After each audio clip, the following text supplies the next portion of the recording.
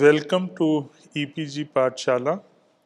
Today we are going to discuss the production and utilization of plant vegetable oil and its conversion into biodiesels. Plant oils are uh, triglycerides of fatty acids and uh, glycerol and they are converted into biodiesels by esterification to get biodiesel which has properties resembling with that of petroleum diesels. It can be utilized in place of biodiesels in all the diesel operated engines. Uh, the Performance of the engine on biodiesel is comparable to the petroleum diesel and rather it is much better as compared to the petroleum diesels. It is more environment friendly and efficiency of the engine is comparable to that of biodiesel. And biodiesel can be used as such without uh, uh, mixing with diesel or it can be used as a blend of 20%, 30%, 40% with biodiesel, with diesel. Now first let us discuss what is vegetable oil. Plant oil are esters of glycerol and fatty acids that is mono, di and triglycerides. Fatty acid consists of hydrocarbon chain bounded by single or double bonds and bounded with carbo carboxyl group. The increased length of carbon chain in the fatty acid increase the molecular weight, viscosity and melting point whereas the density of the oil is decreased. The unsaturation tend to increase the melting point of the oil. The number of carbon atoms and double bonds are represented by a general formula n is to m, where n indicates the number of carbon atoms and m represents the number of double bonds in the acid chain. The free acid content of oil is small, normally 2 to 3 percent Apart from free fatty acids, monoglyceride, diglycerides, and triglycerides, the plant oil contains phosphatides, waxes, terpenes, gums, etc. The presence of terpene cause bad smell on combustion of the oil and can occlude manifolds and filters of the engine.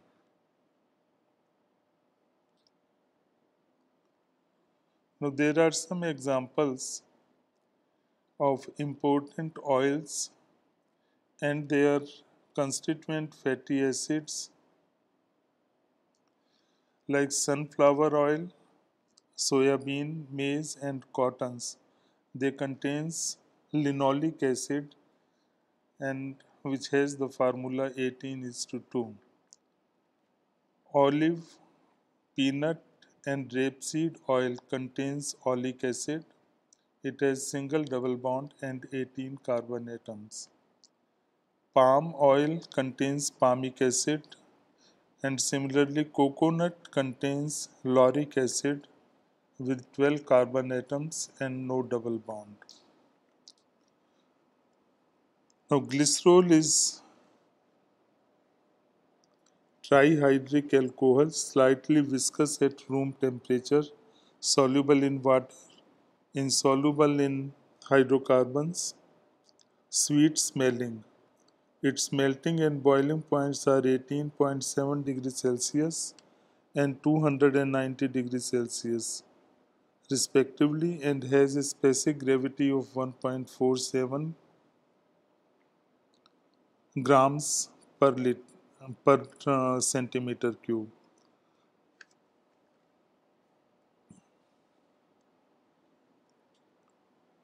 Now here is the structure of glycerol and fatty acids.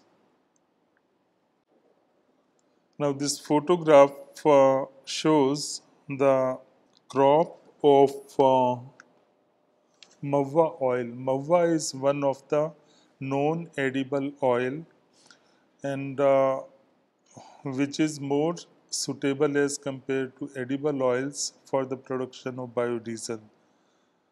The fruits obtained from the uh, Mahua tree are uh, removed, then seeds are taken out, they are dehusked and are converted into oils. And similarly, we have uh, another crop that is Karanji oil that is also a non-edible oil and has the potential for its conversion into biodiesel.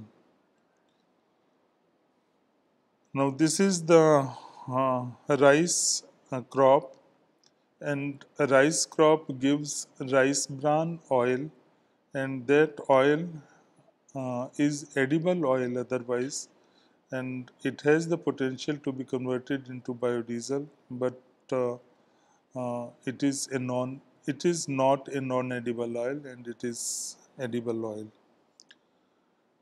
Now another non-edible oil is jatropha uh, seeds obtained from jatropha seeds uh, which contains about 50% oil from the kernel of the jatropha seed and it is a non-edible oil and has a great potential for biodiesel production in the country. Now the picture shows the fruits of uh, jatropha. Then fruits each has three um, seeds. Now seeds can be dehusked and the kernel is obtained. The kernels can be further processed for the production of jatropha oil. Now this uh, slide shows the oil content of some of the uh, important seeds like mustard, sunflower, peanut, olive oil, etc. Now let us discuss the uh, production statistics of vegetable oil in the country. India is one of the major oil producing countries in the world, amounting for about one fifteenth of the total production of the vegetable oil. Her per capita oil consumption is around 12.7 kilograms per year, which is much below that of the developed countries where the oil consumption level is 23.5 kilograms per year. The current annual consumption of vegetable oil of this country stands about 22 million tons, whereas the indigenous production with the annual growth rate of 2.5% is about 8.8 million tons. The breakup of the pattern of vegetable oil in the country is as follows. Now here the point is that uh, India is deficit in vegetable oil. But the point is that uh, the biodiesel is a renewable energy technology which can be used for the production of uh, biodiesel for running the diesel engines in case of any emergent situation arising in future. So that is why the technology is very important for the production of biodiesel. Jacob says that uh, about 55% uh, of the total production is used uh, as refined oil, 20% is used as banaspati ghee. So it means about 75% uh, of the total uh, total vegetable oil produced in the country is used for edible purposes. Now, industrial use that is soap, glycerin, and detergent manufacturing about 9 per 10 percent, and cosmetics consume about 9 percent. And uh, rest 6% is used for miscellaneous uh, uses like paints varnish and for energy purpose.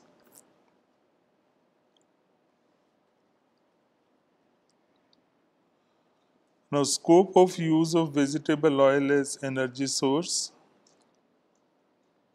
So it is a renewable source of energy that means that it can be replenished after a very short period of time. So it has a crop rotation of, uh, in some cases it is one year and in some cases it is six months. Its uh, heating value is reasonably high. It is as compared to biodiesel, it is comparable. So it is about 5 or 10 percent less as compared to the petroleum diesel. Does not disturb the ecological balance. This means that whatever carbon dioxide is used in the formation of the oil, the same quantity of oil is uh, carbon dioxide is released when it is used for energy purpose. Due to low sulfur content of the plant oil, the emissions have practically no sulfur dioxide. So it is environment friendly and uh, there is no sulfur oxides produced during the use of oil as energy purpose. Compatible with the existing CI engines. So it can be used in compression ignition engines that is all diesel engines without any modification and uh, Engine exhaust gases contain less carbon monoxide, hydrocarbon, and smoke. So, the molecule of the biodiesel contains or oil contains oxygen, and because of the presence of oxygen, uh, and there is less carbon monoxide, hydrocarbons, and smoke along with the emissions coming from the engine. It is safe handling and storage. Its flash point is much high as compared to uh, petroleum diesel. So because of the higher ash, higher flash point, it is more safe to storage, more safe to store and transport.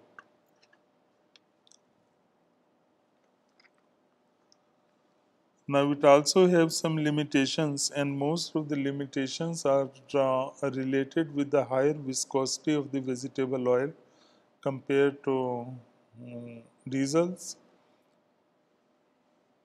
uh, especially in terms of its application as engine fuel. That is injector fouling. This is also related with the higher viscosity of the oil. It causes the injection fouling increased carbon deposit on combustion chamber, varnish formation on uh, combustion chambers, ring sticking, cylinder wall scoring, and increased fouling of lubricating oil. So these are some of the limitations if we want to use the plant oil as such as the fuel in IC engines. The next is the extraction of oil. Now, oil extraction is uh, being carried by two means. One is the mechanical uh, compression of the seeds to get oil. So, this is the mechanical press which is used for the extraction of the oil. This is the screw conveyor in the picture. And you see the uh, available diameter of the screw.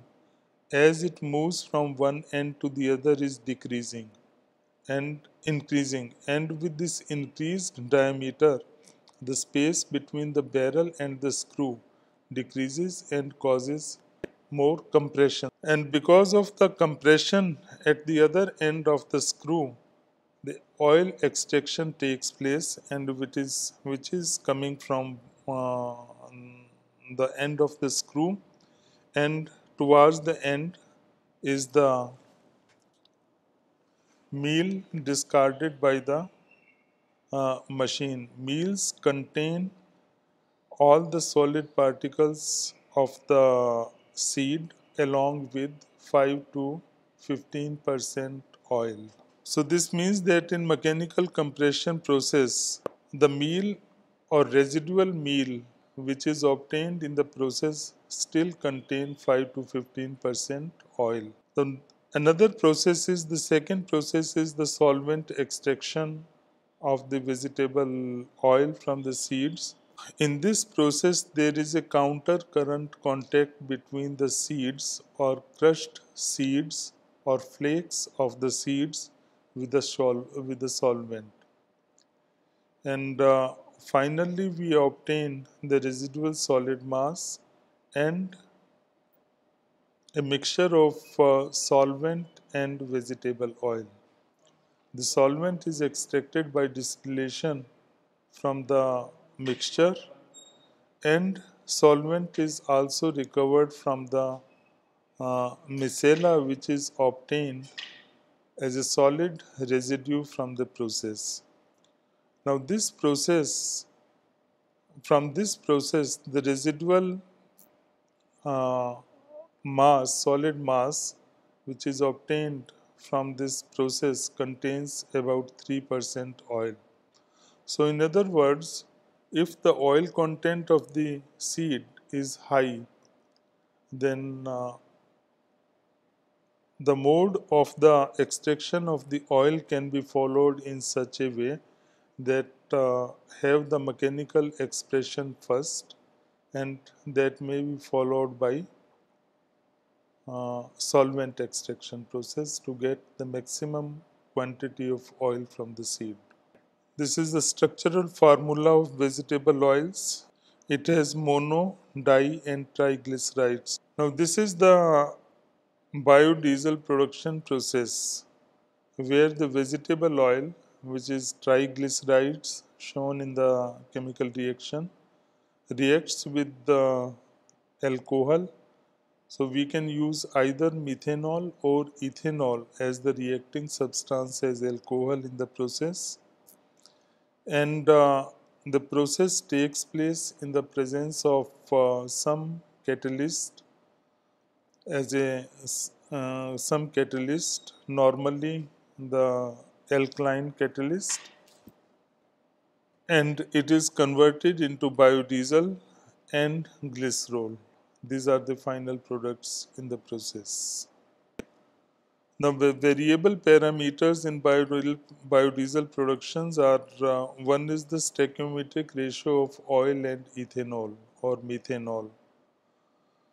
So, the stoichiometric ratio is 1 is to 3 that is one molecule of uh, uh, as uh, oil and 3 molecules of alcohol.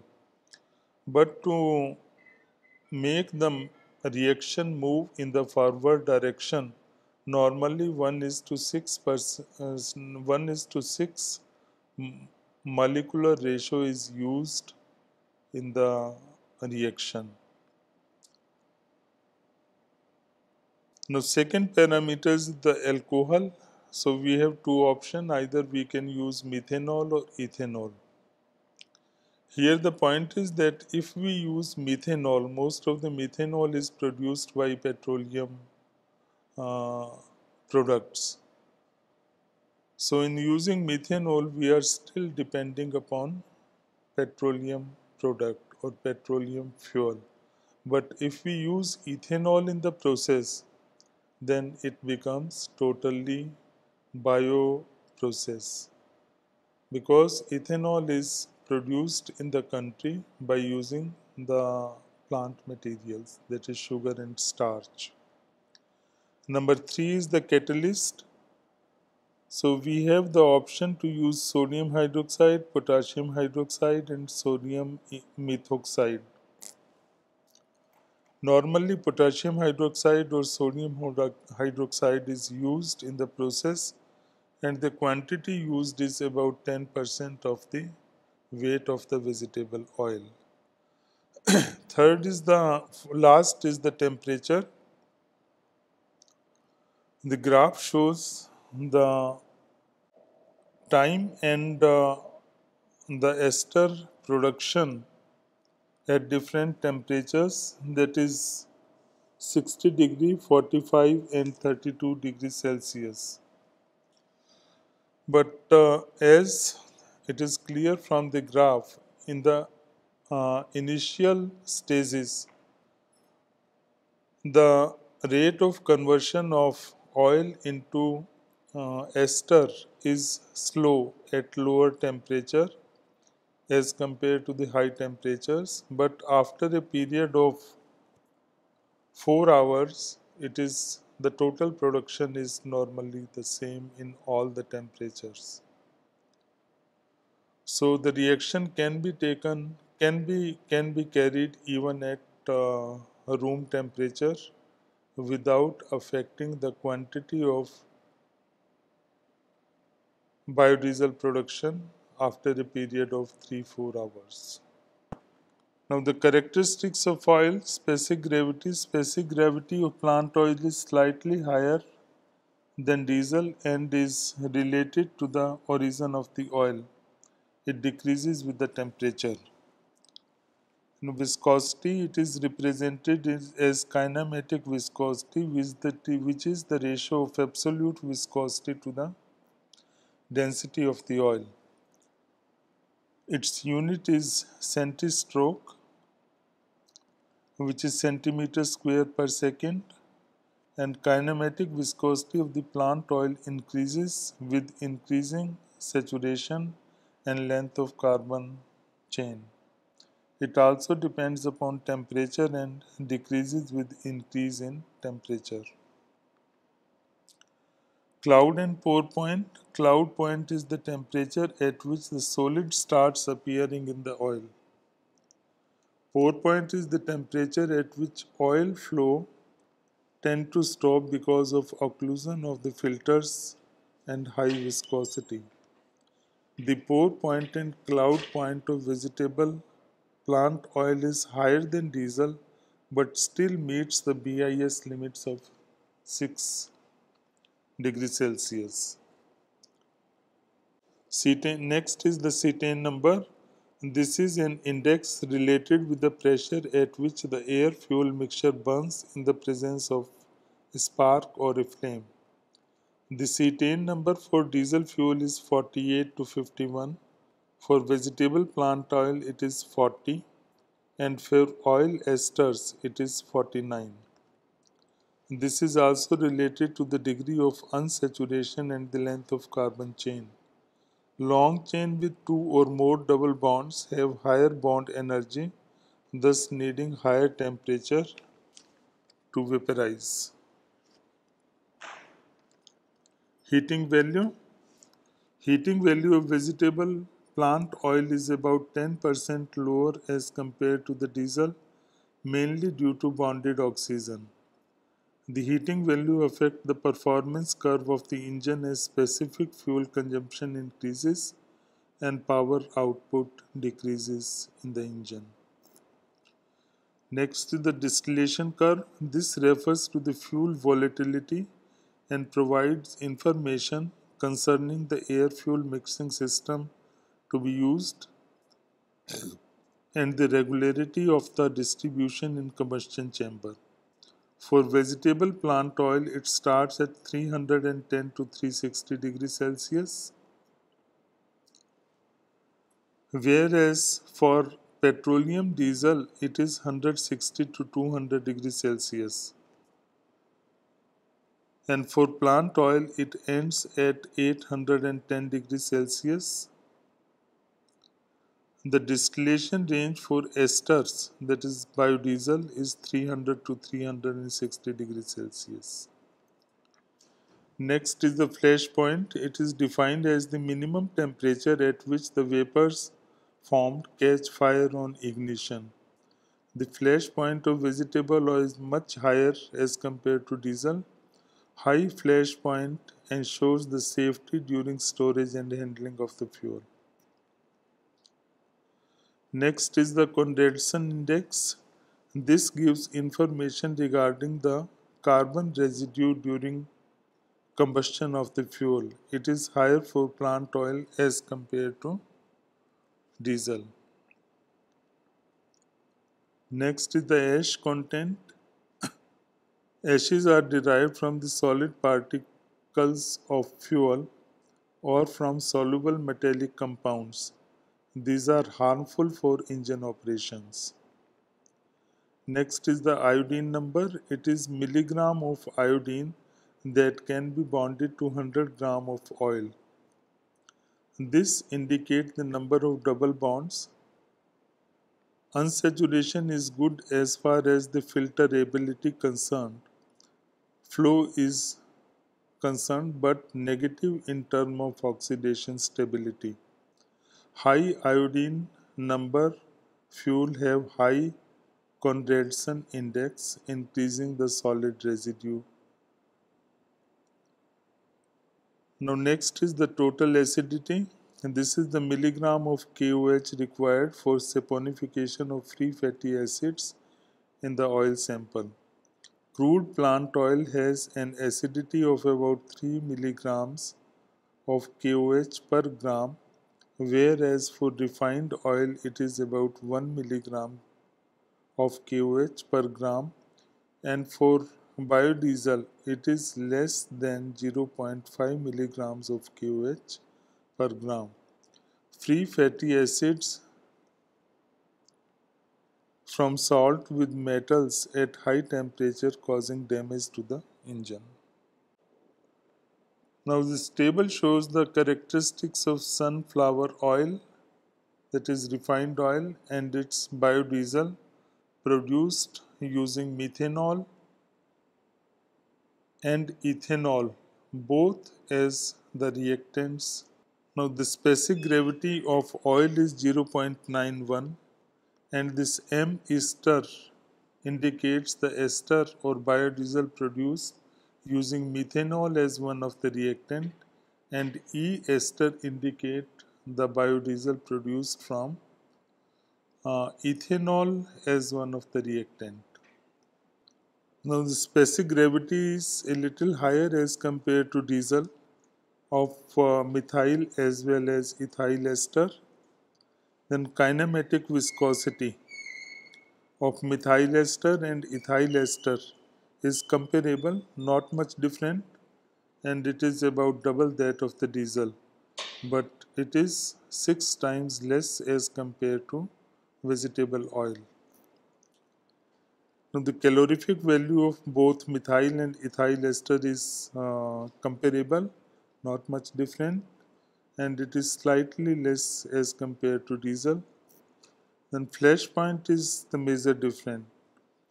For diesel it is 79 whereas for methyl and ethyl esters both it is about 170 degrees Celsius so this indicates its safety in its storage and handling.